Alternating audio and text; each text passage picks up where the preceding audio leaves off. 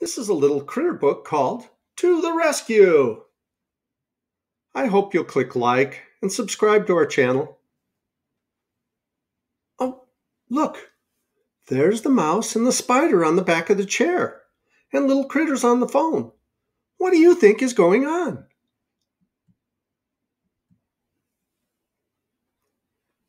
Dad goes to the basement. He has work to do. I'm working too. I'm working with my tools. I'm tired of working. I hear my dad walking up the basement stairs. He calls me. He needs my help. The door is stuck. I will help. I twist and turn the doorknob. I can't open the door. I say, I will get the keys. Keys will open the door. They're hanging in the hall. I climb up and get them. There are many keys. I try them all. Oops, one breaks off.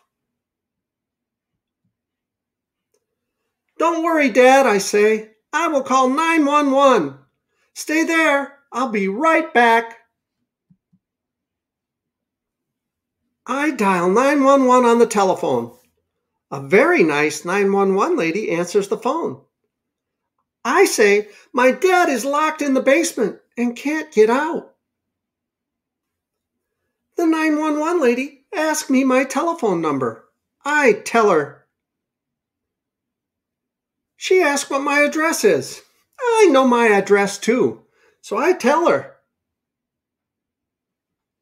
I tell Dad that help is on the way. Hey, Dad. Suddenly, I'm hungry. I go to the kitchen to make a snack to eat until help arrives. Soon I hear sirens. First the police car comes, then the fire truck comes. I see Fireman Joe. We have to get my dad out of the basement. Follow me, I tell everyone. I will show them where to go. Fireman Joe tells Dad to stand back. Fireman Joe takes a big axe. He breaks down the door. Hooray! Dad is safe. Everyone helps take the broken door outside. The police say goodbye. The firemen say goodbye. Thank you and goodbye, I say. Oh, look at poor Dad holding what's left of the door. Guess who has to fix the door now? Dad says, I'm a hero. I just called 911.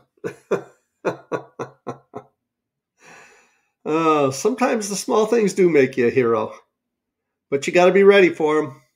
I hope you guys are. Well, thank you so much for watching. As Tigger says, ta ta for now. I love you guys. Bye bye.